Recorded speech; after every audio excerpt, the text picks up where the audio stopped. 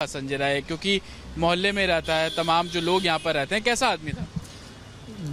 जैसा कि हम लोग यहाँ लोकल एज बिंग लोकल हम लोग जानते हैं उसके अबाउट में कि वो first of all characterless है फ्रॉड है देन चीटर भी है, ठीक है, और मतलब ड्रंकर भी है, और काफ़ी लोगों को चीट भी किया है, और सेक्स के प्रति बहुत ही एडिक एडिक्शन रहता था, और ईगर भी रहता था।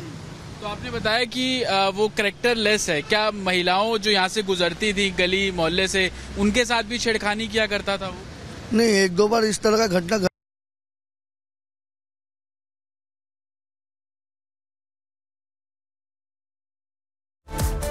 संजय राय को लेकर काफ़ी सारी बातें इन दिनों कही जा रही हैं। इन्वेस्टिगेशन में बहुत कुछ चीज़ें निकल रही हैं। हिंसक प्रवृत्ति का था पॉन वीडियोस उसके फ़ोन से मिले। लेकिन संजय राय कैसा आदमी था, कैसा इंसान था, ये जानने के लिए हम उसी जगह पहुँचे जहाँ पर संजय राय रहता है। वहाँ पर हमें उनके एक परिचित बोल लीजिए, दोस्त बोल लीजिए, क्योंकि उन्हीं के मोहल्ले के रहने वाले शख्स हैं, वो हमें मिले हैं, उनसे हम बात करेंगे। मैं आपसे ये जानना चाह रहा हूँ कि किस तरीके का आदमी था संजय राय? क्योंकि मोहल्ले में रहता है, तमाम जो लोग यहाँ पर रहते हैं, कैसा आदमी था? जैसा कि हम लोग यहाँ लोकल एज बिंग लोकल हम लोग जानते हैं उसके अबाउट में कि वो first of all characterless है फ्रॉड है देन चीटर भी है, ठीक है, और मतलब ड्रंकर भी है, और काफ़ी लोगों को चीट भी किया है, और सेक्स के प्रति बहुत ही एडिक एडिक्शन रहता था और ईगर भी रहता था। तो आपने बताया कि वो करेक्टर लेस है। क्या महिलाओं जो यहाँ से गुजरती थी गली मोहल्ले से, उनके साथ भी छेड़खानी किया करता था वो? नहीं एक दो बार इस तरह का घटना घटा तो उसके लिए यहाँ पे लोकल पनिशमेंट मिल गया। हाँ इस तरह का वारदात हुआ था तो उसको पनिशमेंट भी मिला था। अक्सर शराब के नशे में रहता है। अक्सर मतलब वो एक बोतल खत्म हो जाए यदि उसके पास पैसा है तो वो सेकंड बोतल भी आएगा। अब वो उसको पिएगा। लगातार नशे में ही रहता है नशे में। अच्छा पुलिस में काम करता है। क्या लोकल लोगों को क्या बोलता है? क्योंकि पुलिस तो कहती है वो हमारे साथ था नहीं सिर्फ़ वॉलंटियर था। यहाँ पे क्या कि पुलिस में हूँ मैं इस तरीके का रॉब जमाता है? मैं मैं जहाँ तक कि उसको जानता हूँ कि वो पुलिस के अबाउट में आप उसको बोल कि वो सिविक वॉलेंटियर है, उसका किसी भी तरह का उतना मतलब ना उसके पास इंफॉर्मेशन है, ना राइट्स है। बट फिर भी वो जो काम कर सकता था, वो अच्छा अच्छा बंदा पोस्ट में रहने के बावजूद भी नहीं कर पाता था। वो उसके अंदर गट्स भी बहुत है और सुपीरियर पावर उसके पास था। लेकिन झगड़ता था सबसे यहाँ पे। झगड़ता था मतलब बोल सकते हैं झगड़ता ही था। और किसी से यदि वो बदला लेना चाहता तो वो झगड़ के कर लेता था। यदि कोई इसका सामने यदि वीक है और उसको चाहता है उस पर चढ़ाई करना तो वो चढ़ाई कर पाता था आप, कर लेता था। आपने बताया सेक्स एडिक्ट है कैसे? मतलब इसी तरीके की गाली गलोच या क्या किस तरीके से सेक्स एडिक्ट है?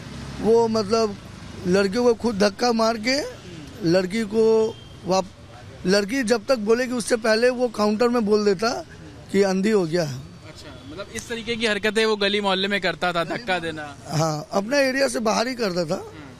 अच्छा हाँ। यहाँ पे जो रेड लाइट एरिया है ये भी पता लगा कि बहुत ज़्यादा वहाँ पर जाता था। क्या इसको लेकर भी मोहल्ले में चर्चाएँ हैं बताता था वो खुद?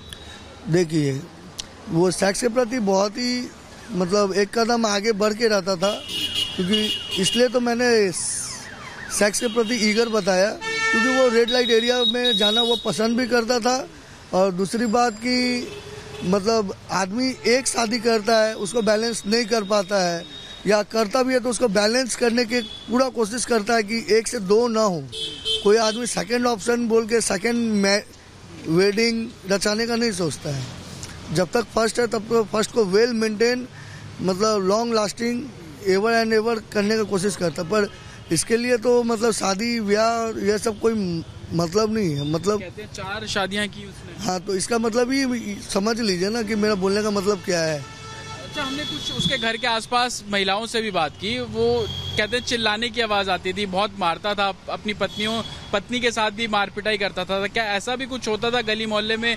आवाज़ें आती थी इस तरीके से? हाँ वो मतलब वो जब ड्रिंक करके रहता है तो एक्चुअली क्या होता है कि ड्रिंक करने के पहले जो आदमी का इंटेंशन होता है ना उस जैसा उसका इंटेंशन रहता है ठीक उसी के अकॉर्डिंग वो पीने के बाद वो बिहेव करता है। तो वो जब पीने से पहले उसका यदि मूड खराब होगा तो पीने के बाद वो और मूड चढ़ता है तो वो वायलेंट हो जाता है। बहुत पीटता था अपनी पत्नी को। हाँ, मारता पीटता था क्रूएल नेचर का रहता था आँख वाँख मार के मुँह फुला देता था। अच्छा लोग ये भी कहते हैं कि वो सिगरेट पीता था तो जली हुई सिगरेट अपनी पत्नी को छुपा देता था टच करता था टॉर्चर करता था। इस तरीके की मानसिकता रही है उसकी। नहीं क्रूएल नेचर का है ये चीज़ मैं बोल सकता हूँ। ठीक है? और ये सिगरेट वाली वारदात मेरे को पता नहीं है। अच्छा आस पड़ोस के लोगों में क्या है? संजय राय को लेकर लोग क्या सोचते हैं? कि गलत इंसान है झगड़ता रहता है सबसे नशे में रहता है अमूमन। सेल्फिश ठीक है? पहला तो वो सब कोई लोकल्स उसके प्रति यही सोच रखते कि वो सेल्फिश है। सेकंड थिंग कि वो फ्रॉड भी है। और ये फेक मतलब रेपो मेंटेन करता है। फ्लुएंट मतलब रेड लाइट एरिया में जाना अयाशी करना नशे में घूमना गाली गलोच करना ये रोज का था उसका? रोज का नहीं बोल सकते पर वो अक्सर जाया करता था। तो संजय